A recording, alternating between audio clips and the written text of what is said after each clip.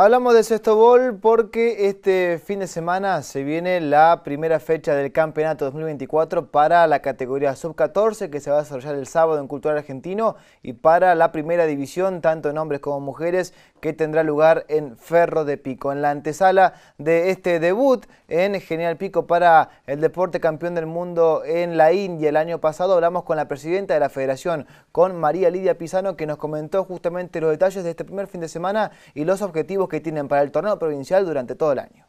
Este fin de semana será este, la, primera fecha, digamos, en dos categorías. La sub-14 que juega en el sábado, en Cultural Argentino, y el plato fuerte, que es, que es la primera, en este caso, esta vez, por primera vez en la provincia, en forma sistemática, digamos, la rama masculina, eh, y bueno, y la rama femenina, que, sí, que se desarrolla todos los años. Así que el domingo en Ferro de Pico, eh, se podrán ver estos partidos de varones y de mujeres. Mayores siempre es el espejo donde todas las jugadoras de formativas y de las categorías más chiquitas eh, se miran. ¿no? El año pasado fue un año muy importante para el sexto nacional con, el campeonato mundial, con, la premiación de bueno, Carla Gerbaudo Valeria Gacio, que si bien ellas habían sido convocadas a la selección por otras federaciones a las que representaron años anteriores, este año son jugadoras de la Federación Pampeana eh, y yo creo que, que, bueno, sí, siempre se apuesta a la categoría primera, ¿no? o sea, es, es el, eh, digamos, es, la categoría más importante. ¿Qué tal la cantidad de equipos, sobre todo en mayores, que es, eh, como decías vos, el espejo? ¿Se han logrado sumar o han sumado jugadores a los equipos que participan? El año pasado, bueno, tuvimos solamente tres equipos con, eh, participación en primera femenina y este año incorporamos Sportivo Toay, que siempre estuvo, pero bueno, el año pasado no, no participó.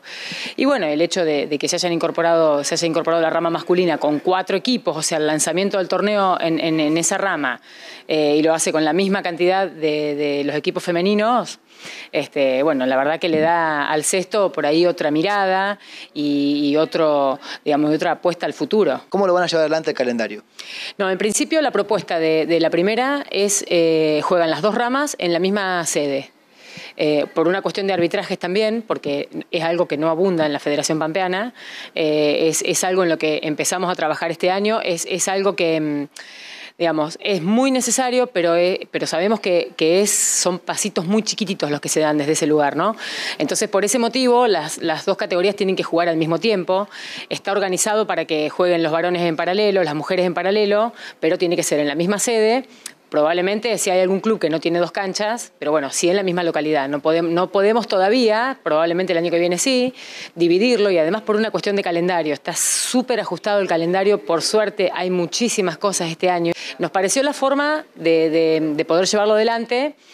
Y por supuesto el, domingo va a ser em, como una evaluación, una observación, a ver en realidad si esto resulta, cómo se desarrolla, eh, cómo, se, digamos, cómo, cómo, cómo, se puede llevar adelante. Pensamos que, va, que, lo, va, lo, va, a hacer bien, pero bueno, tenemos que verlo digamos, eh, en la práctica. Claro.